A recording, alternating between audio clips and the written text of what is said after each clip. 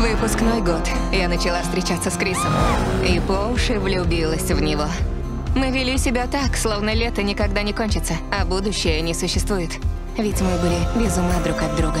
Обними за меня, Райли. Да. Я отвечу ей? Прекрати!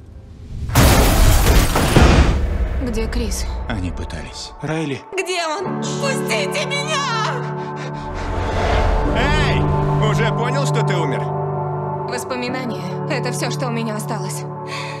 Хорошо выглядишь, детка. Всего лишь хорошо. Крис. О, боже, я правда тебя чувствую.